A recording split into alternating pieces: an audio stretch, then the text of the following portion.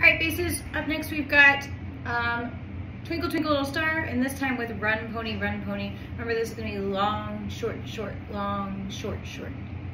All right, double check your bow hold, make sure it's nice and relaxed. Make sure your bow is in the middle between the bridge and the end of the fingerboard. Here we go. Run, pony, here we go.